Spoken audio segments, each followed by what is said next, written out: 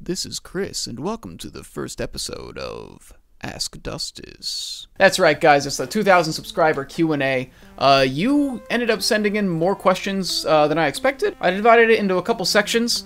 Uh, I think I'm gonna go ahead and uh, do the video game and Smash questions first.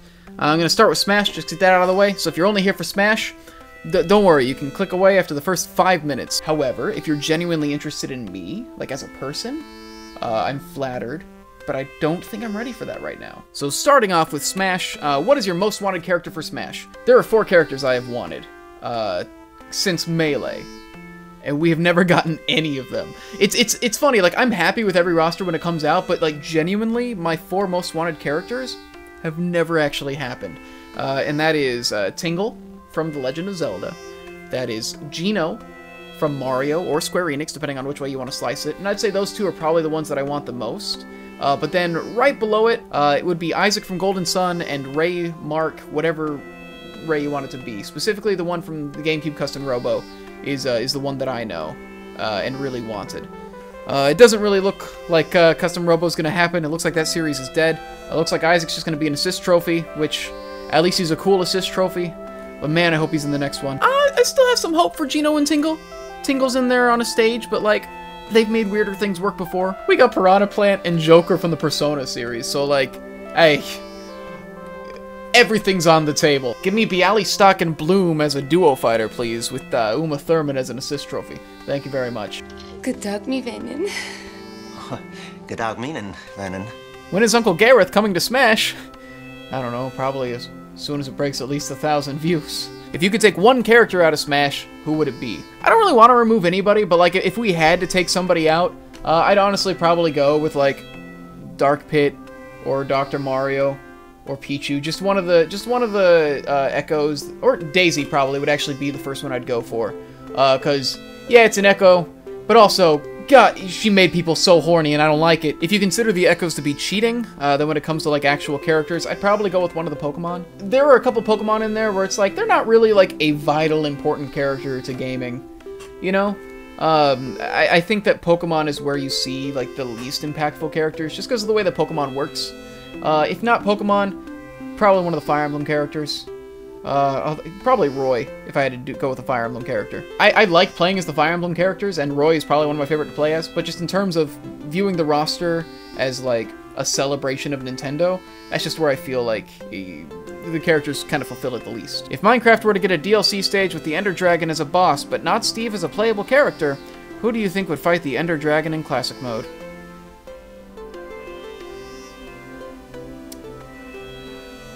Rob, now that Smash Ultimate has been out for a bit, what are your thoughts and what would you do different if you were in charge? I think it's the best Smash game they've made. It's it feels so good. So many of the additions are just like really really nice. The the way that it like punches in and like slows down when you land like the final blow, but then you can still you can still DI out of it, but like anytime it gets close, just a lot of little stuff like that is really nice. A lot of the new extra modes are really cool. The the, the one thing, just the one thing is the online uh, as, as as usual. The netcode not great. Uh, I, have only played online once. Granted, it was with some of you guys, actually. I did a stream and we were playing some of you online. And, uh, it was bad lag. Then I put in the Ethernet cable and it actually fixed it for quite a while until certain people joined and then they brought a lot of lag with them. So, like, yeah, just better netcode would be amazing. Um, but as far as, like, the actual design goes, some of the online options are just really obtuse shouldn't be as difficult to just kind of set up a room for all your friends to play and then like change stuff when you want to. Like having to close down the room and all that is just kind of dumb. Like like some of the online stuff is just unwieldy, and I, and I think it could be streamlined a bit better. But when it comes to like the actual mechanics, I, other than like adding characters that I want, like, I, I, don't think there's anything I would change about it. I just really like what they've made. Bring back Pokefloats. Just bring back Pokefloats, please. That's all the Smash questions. I'm just going to go into some uh, normal video game questions now. Uh, what is your favorite video game ever?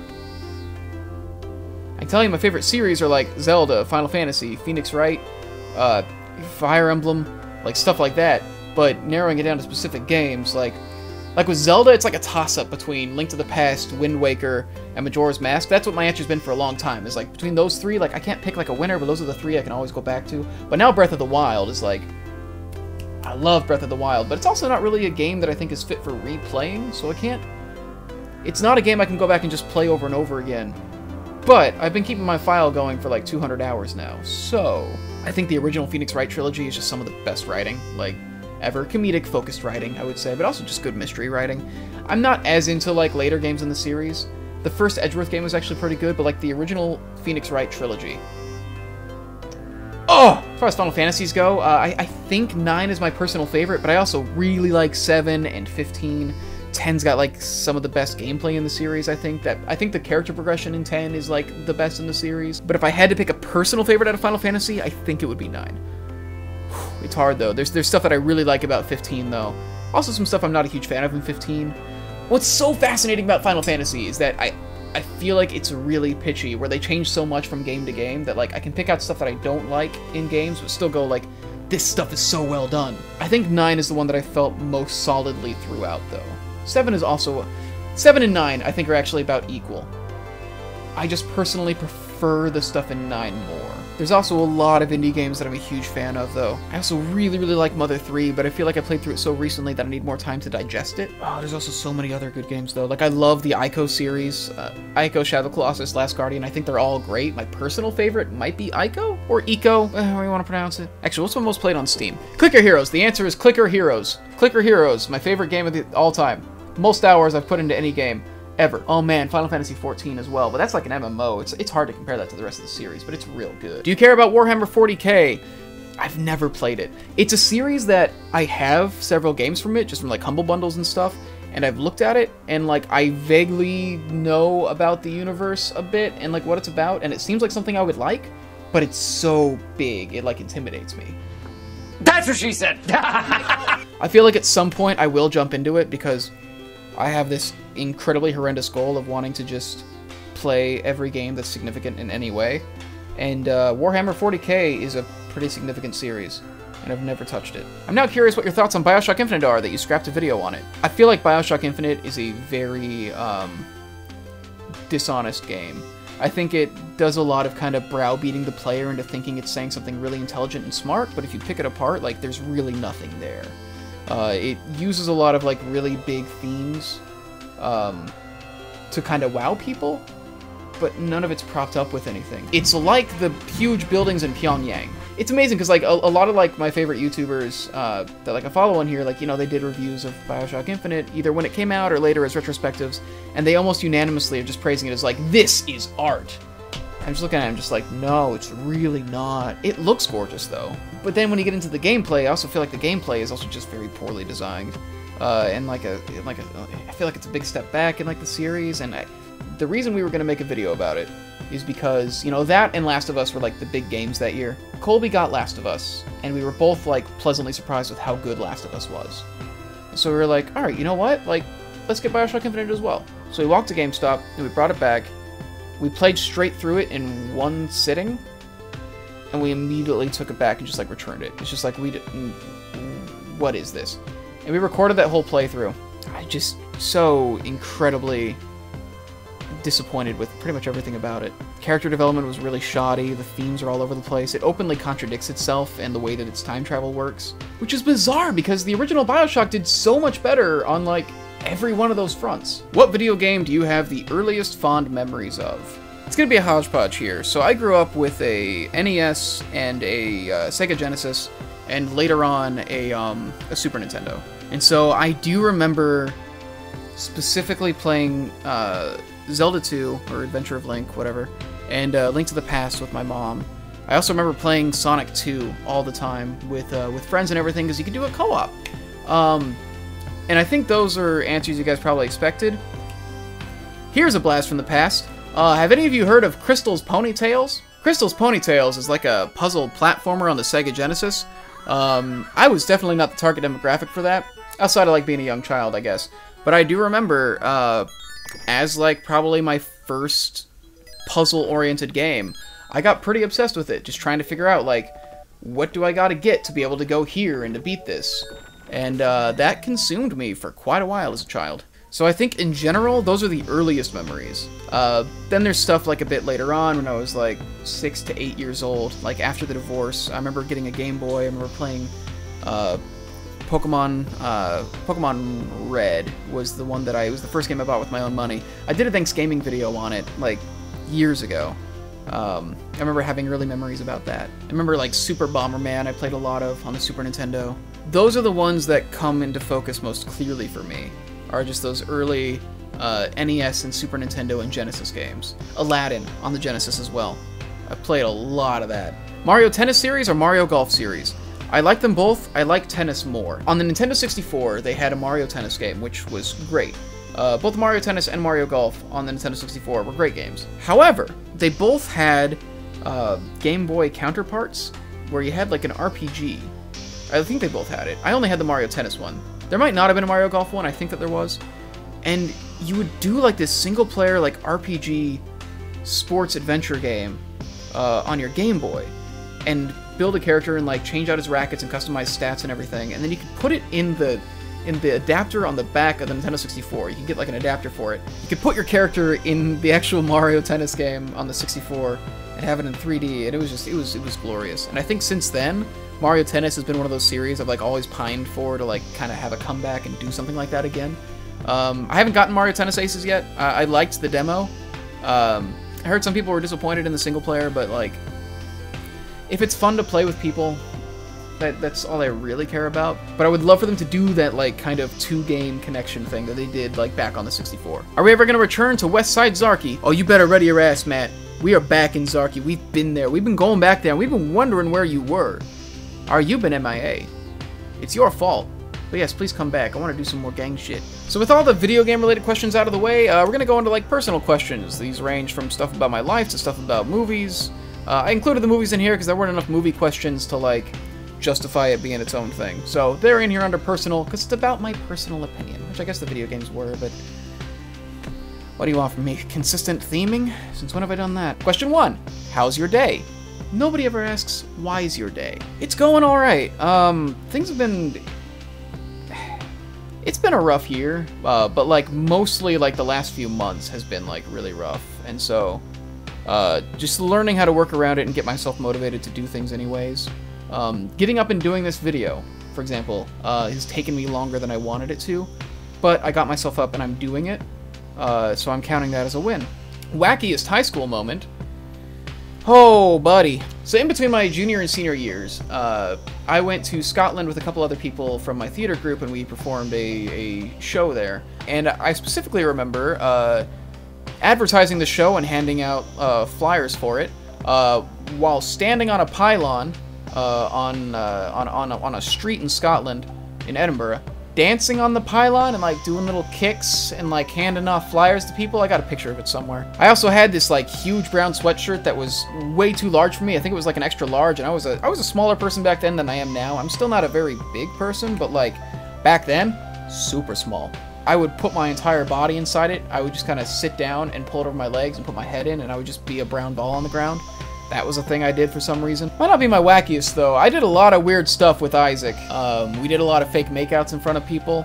Uh, one time he spiked my head on like the, the, the corner of a chair that was like jutting up like this, and he gave me like an actual concussion, and I passed out for a bit. But it was all good for the laughs. I also remember uh, ice blocking. Uh, with uh, with my friend uh, Lemming and a bunch of other people. Just took a bunch of ice blocks up to a grassy hill, and we would just uh, put a towel on them and sit on it and just ride these ice blocks down the hill.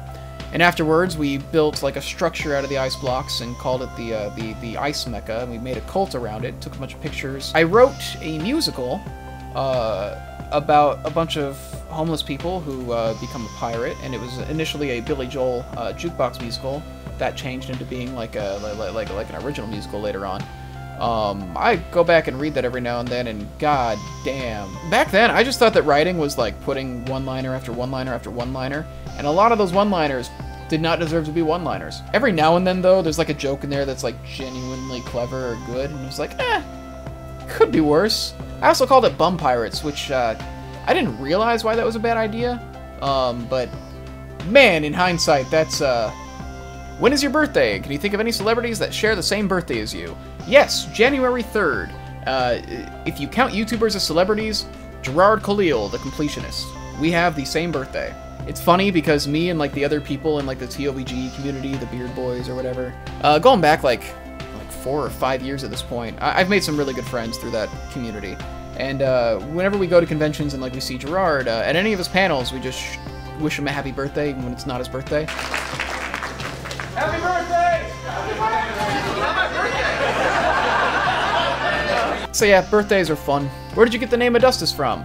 I, I needed to change it from my from my stupid childhood uh, screen names to something that sounded a bit less ridiculous. It didn't need to not sound ridiculous. It just needed to not sound like I thought I was being a badass for using it. Uh, but I still wanted to keep something jackal related, and uh, Adustus is like the Latin like species name uh, for the side-striped jackal. Uh, it's the Canis adustus. And so I was like, there, I can kind of keep something jackal related and keep it in that wheelhouse without it sounding like awful. Uh, that was done after months of trying to like think of a name uh, with Will, uh, one of my like best friends online. Yeah, we kicked it around for a long time. He came up with the Dustus, and I was like, yeah, it's the best we could think of. Uh, and I actually, it's it's it's grown on me. I think it's nice. I think it works as a name for all of the kind of content that I make, both the weird stuff and like the the more serious stuff. It also works as a name for a collective, which is another thing I wanted to do. Um, is kind of have this channel be more than just me. Kind of succeeding in that respect, but not as much as I want to. How was meeting Quinton Reviews? I really liked it. It was a lot of fun. It, it was cool seeing him and getting to see that like he was the kind of person I thought he was. I've talked before about authenticity and uh, or the lack thereof on the platform, and uh, one thing I liked about Quinton's content was that he seemed very authentic, and I was like, I think that you actually are the person you're putting out here. Obviously, there's parts of it that are played up for you know entertainment's sake, but like I never feel like he's lying or saying something he doesn't believe. And so it was cool to just get to hang out and just like joke around with him and be like, yeah, no, like I do have a feel for who you are off of your videos, and that's like a really cool thing to actually feel. Because it, it, it, doesn't always work out that way when you when you meet somebody from online, especially a content creator. Uh, it was also interesting to just kind of talk to him and see like where his head's at about some things, because like he's really young. That's something I always find interesting. Is like you know like YouTube kind of encourages people to get into the limelight at a younger age, and you know people are still developing at that point. You know people aren't people aren't who they're going to be for the rest of their lives by the time that people are watching them. Um, and so it's interesting to see them kind of go through that growing up process. I feel like Quinton is one of the people who handles it a lot better than most. There's been a lot of controversy uh, around him lately, and it's just it's just stupid. I'm definitely not like close to him in that I can like go offer him advice or anything, uh, but I just kind of hope he pulls through things. Um, I have faith that he's gonna come through everything he's one of my favorite people on the platform. I really don't watch that much YouTube anymore because I just don't like the direction it's gone, really. But he is one of the people that I that I like watching, and it was nice to meet him in person and kind of get validation that like, yeah, this is genuinely like the person that you think it is. How did Critical end up being an Uncle Gareth? I fucking asked him, dude. Back then, he was like doing like some minor voice acting in games and stuff, and he had made a video uh, talking about how he wanted to do more voice acting, and. Uh, he had an email out there where people could like send questions and stuff. This is when he was he wasn't smaller profile because like he's always been a big channel. He was approaching it from like a different kind of angle at that point. Like I don't know if I could get him to to voice uh, that character in the movie uh, if I went and talked to him about it today. Uh, I don't think I could even get through to him. I think he has a lot more important stuff going on. So you know, we we shot the movie and like there was always going to be a voice on the other end of that walkie-talkie, but we didn't have it on set because like you don't you don't do that. Uh, so I like recorded like filler filler lines for like what I thought would be funny, and I realized that I was just doing a critical impression, and so I just emailed him and I was just like, hey, like we're shooting this thing. He responded to it. He said he was like, yeah, I'm totally down for that. Uh, like a week later, uh, I brought him in a Skype call and uh, talked to him just about the script and what we were doing and the kind of stuff. This is Troutman. I have a suspect. You're not a real cop, Bob.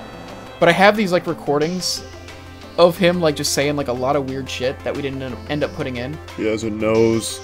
I'm pretty sure eyebrows are there too. From the report, she likes coconuts and beavers. She has a bicycle. She grew up in a house. She had a family, a father and a mother. She's got shoes and she knows how to tie them because she's eight and she learned how to do that. I don't know if he's seen the movie. Um, I kind of doubt it. Uh, I did send it to him, uh, but I never got a response. It's extremely possible that, like, in between the time that he recorded his lines and the movie actually came out, uh, that he just kind of forgot about it. And I don't blame him. He has like a lot of stuff going on. Um, some of his fans have found the movie, uh, which I've found interesting. Uh, but as far as I can tell, he hasn't seen it. Uh, these two questions kind of go hand in hand. Uh, excited for any upcoming movies and worst movie you've seen this year. I feel like I can't really answer the latter. I actually don't. I don't see that many movies. I'm trying to remember. Oh, worst movie I've seen this year: Final Fantasy 15: Kingsglaive. It didn't come out this year, uh, but that's the only movie I can remember watching this year and just being like, "What? What is this?" What I will say though, Into the Spider Verse is an incredible movie. Y'all should go see it. I was lucky enough to see it uh, an early screening about a week early because I got big friends in the film industry. Meaning, I know a guy in the Editors Guild. Excited for any upcoming movies? Detective Pikachu. It looks like they're just going ham with like how ridiculous it is, and I'm fine with that. I, I don't need it to be a serious movie. Other than that, uh, Creed 2 is technically already out, but I need to go see it. I am excited for that. I've only got a couple questions left. They're all kind of random. Uh, what are your thoughts on bacon numbers, degrees of separation, and websites like oracleofbacon.org? I don't really have any thoughts on it. Um, I don't really attach any significance to uh, degrees of separation or Kevin Bacon as a whole, really. I, I guess it's kind of cool to like look at it as like, man, it's a it's a small world, you know, like like in that sense, like I get it. But no, thank you. Warner Brothers or Disney? I don't think in these terms really. Guess Disney's got Pixar. Coco was amazing. Warner Brothers had something. I, I should probably think about this stuff more as somebody who like works in this industry, but like I just don't. I don't feel like it really matters. Marvel or DC? DC for the comics, Marvel for the movies, especially Into the Spider Verse. Although honestly, with DC, I still don't really read many of their comics. I mostly read like smaller publishers. I think I read a lot of Image. Uh, Lion Forge does a lot of good stuff. Their Magnetic Press stuff is really good. Um, I read a lot of like kind of one-shot stuff. I'm not really into the serial uh, superhero comics that much. Hershey or Nestle, whichever one has Reese's. If you were a gladiator, what type would you be? Slash, what would be your weapon of choice? Uh, an American gladiator, and uh, ju- just a gun, dude. It might not impress anybody, but like I want to live. This is a question from Gibson Twist. He's a independent uh, comic book writer, graphic novelist. What's the word for that? I, I guess author, comic booker. Way back when, like at least a decade ago, I was uh, writing this like Legend of Zelda fan comic uh, that somebody else was drawing because I, I can't draw. It was the unabridged uh, Legend of Zelda Ocarina of Time, basically. So instead of uh, cutting it faster, it's just like we just focused on like really minute details and dragged them out and like tried to pull comedy out of uh, bizarre things. I think that was probably actually the best I ever did comedically as a kid. I would I would make a movie out of uh, the unabridged Legend of Zelda Ocarina of Time before I made a movie out of Bum Pirates. Anyway, so on that site, I found some other comics, and one of them in particular really spoke to me as a as a uh, as a teenager, kind of coming to his own, kind of growing up. It was called Pictures of You, and uh, I've been reading that for about ten years. It's actually getting close to finish. It's been something that he's been working on for a long time. Um, and it's been crazy to like see this develop and watch his art grow over the years and see how as I go through like my actual like kind of coming of age experiences. So look back at this, you know, kind of coming of age comic and uh, sort of draw those parallels. It's been really interesting. It's probably the most influential piece of work on my actual like development as an artist that nobody will know about. I support his Indiegogos whenever he does like a print campaign for one of the books because like I want to actually physically have the books. I think I actually lent out the Pictures of You books to a friend, but I do have one of the Our Time in Eden books right here, which is another series he was writing. Um, but the, he didn't draw this one. He draws and writes Pictures of You. Please go check him out if you have any passing interest. Let's see what this incredibly influential figure on my life has to ask. Why is a can the butt, but cans is boobs?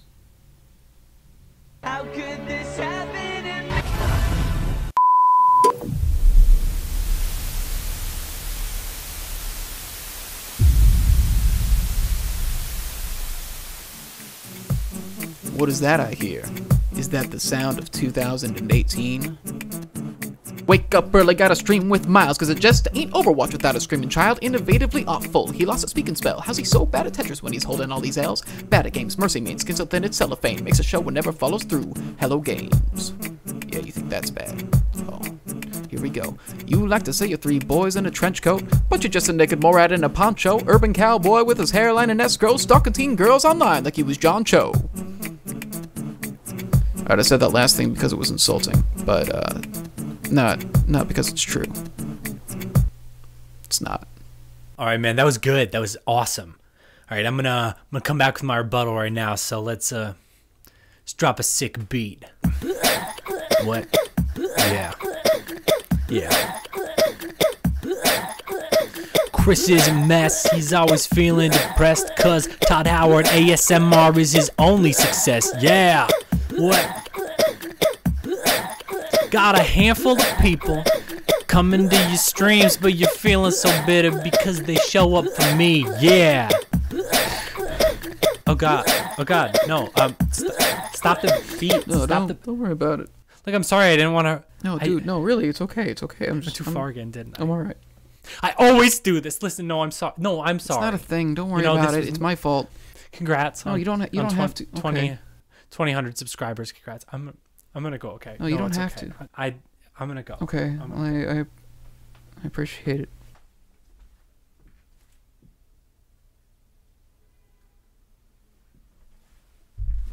There's not. There's not a. There's not a door that way. Thank you for watching, everybody. Thank you for 2,000 subscribers. Thank you for asking questions. Thank you for just showing up. I don't do anything that I'm supposed to do to be successful on YouTube. I don't have like a regular series. I don't have regular upload days. I'm not really personality driven, which is a large part of YouTube channels these days. And yet somehow, there are some of you guys who've been watching this channel for like seven years. That's insane. I've probably influenced some of your development. And I got away with it. Want to give a big shout out to the people who uh, support me, not just by watching or being in the content, but by helping sort out the stuff in my head. Tyler and Isaac and Miles and Chelsea and Max and Will and a couple others. Uh, they help a lot with finding the motivation to keep doing things, and uh, I really appreciate that. Anyway, I got a lot of big plans going into the new year uh, regarding this channel, and I hope that I hope that it adds something positive to your lives. All right, thank you for watching.